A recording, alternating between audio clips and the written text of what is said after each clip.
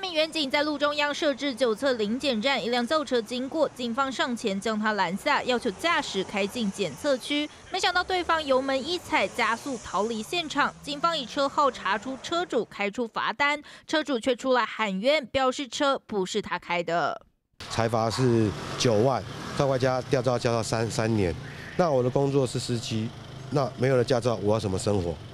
梁先生又气又无奈，因为自己把车借给蒋姓友人，对方疑似酒驾才会闯临检站拒检。事后收到罚单，他联络友人表示自己收到罚单，对方承诺会跟警察说车是自己开的，没想到迟迟没有去自首。梁先生收到吊照通知，要联络对方负责，但却失联身影。到现在，我现在跟他讲，他又说他没时间，还跟我说哦，他车贷要下来了，不能没有驾照。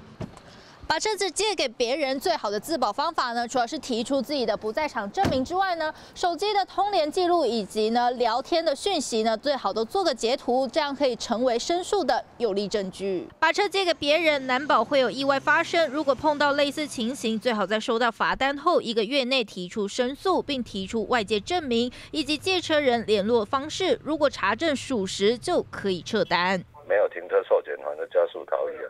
那警察就依照到时候条例来告发。